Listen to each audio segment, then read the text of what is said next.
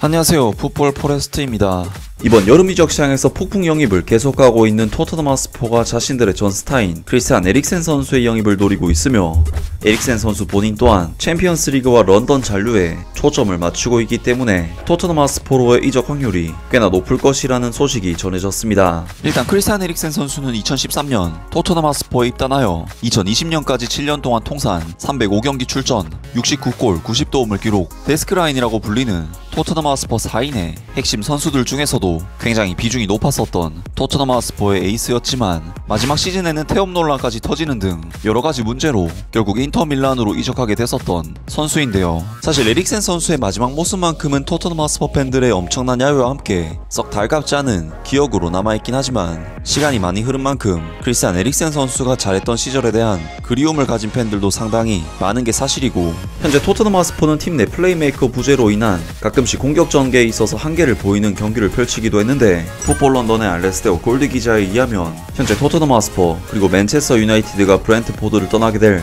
크리스찬 에릭센 선수의 영입을 열망하고 있으며 골드 기자의 예상으로는 토트넘 하스퍼로의 이적이 맨체스터 유나이티드 이적보다 가능성이 더 클 것이라면서 소식을 전해왔습니다. 전 토트넘 하스퍼의 스타 크리스찬 에릭센이 다음 시즌 브랜트포드에 잔류하지 않기로 결정한 것으로 알려졌다. 크리스찬 에릭센은 UEFA 유로 2020에서 덴마크 국가대표 선수로서 뛰던 중 심장 마비를 겪은 지 불과 6개월 만에 1월에 프리미어리그로 복귀했다. 이 재능이 있는 플레이메이커는 브랜트포드와 6개월 계약을 맺기로 결정했었는데 그는 단 10번의 선발 출전 만에 한 골을 넣고 4개의 어시스트를 추가하며 몇 달 동안 생산적인 성과를 거두었다.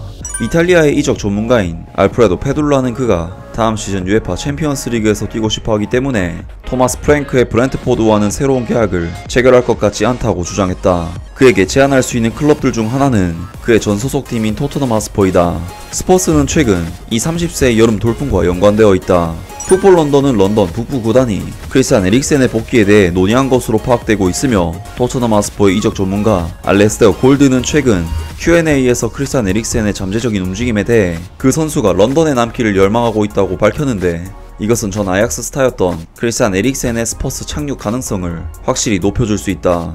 알레스테어 골드 기자는 크리스찬 에릭센은 브랜트포드가 자신에게 기회를 준 것에 대한 충성심을 느끼는지 아니면 스퍼스, 안토니오 콘테, 그리고 챔피언스 리그의 힘이 더 강하다고 느끼는지에 따라 달려있다. 그가 런던에 남기를 원하는 것으로 알고 있지만 다른 이해 당사자들이 있을 것이라고 말했다. 맨체스터 유나이티드는 또한 크리스찬 에릭센의 이적과 연결되어 있지만 잉글랜드 수도에 남기를 원하는 그의 선호와 다음 시즌에 맨체스터 유나이티드가 유로파 리그에 있을 것이라는 사실은 그가 다음 시즌에 올드 트래포드로 이적할 가능성을 확실히 약화시킨다 라면서 크리스찬 에릭센 선수가 브랜트포드로의 잔류를 선택할 확률이 매우 적은 상태이며 토트넘 하스퍼, 맨체스터 유나이티드 두 구단에 관심을 받고 있는데 런던이라는 메리트와 챔피언스 리그라는 메리트를 지닌 토트넘 하스퍼가 지방에 위치한 그리고 챔피언스 리그도 못 나가는 맨체스터 유나이티드보다는 확실한 우위에 있다고 하는데요. 또한 이적 시장의 월드 클래스 파브리지오 로마노 기자 역시 에릭센 선수가 최근 인터뷰에서 나에게 여러 가지 오퍼와 옵션들이 있다. 챔피언스 리그가 나에게 필수적인 요소는 아니긴 하지만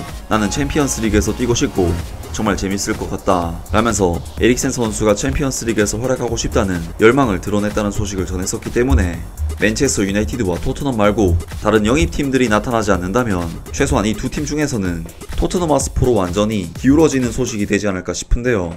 토트넘으로서는 최근 비수마 선수의 영입 확정 소식에서 비수마 선수 외에도 최소 4명의 선수를 추가로 영입할 것이며 이 4명의 선수 포지션으로 수비수 2명, 공격형 미드필더, 그리고 포워드, 즉 에릭센 선수의 공격형 미드필더 포지션도 추가로 보강할 것이라는 이야기가 있었기 때문에 토트넘 하스퍼의 남은 4가지 퍼즐 중 하나는 에릭센 선수가 될 확률이 꽤나 높아 보이는데요. 에릭센 선수로서도 사실 토트넘 하스퍼를 떠날 때 모습만큼은 아름다운 모습은 아니긴 했지만 지금으로서는 자신이 선택할 수 있는 최선의 팀은 그래도 토트넘 하스퍼가 아닐까 싶고 자신의 친정팀으로 돌아와서 멋진 활약을 보여준다면 토트넘 하스퍼 팬들에게 다시 환영받고 추앙받는 선수가 될 수 있지 않을까 싶습니다. 아무튼 오늘 영상은 여기까지고요. 영상 재밌게 보셨다면 구독과 좋아요 그리고 댓글 부탁드립니다.